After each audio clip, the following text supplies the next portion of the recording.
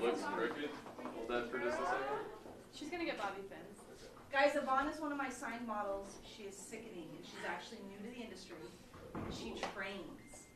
She trains. She takes criticism. She takes classes. She goes to shows. She does runway class, print class. She trains. She looks at herself in the mirror all the time.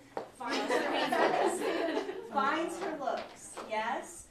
Now this is a really good start to us having our little mentorship moment. Is it doesn't matter if you think you just look good in a selfie. You have to know how to look in front of a print. You have to have the energy, the commitment to your character, to your look, to your face, to your body, all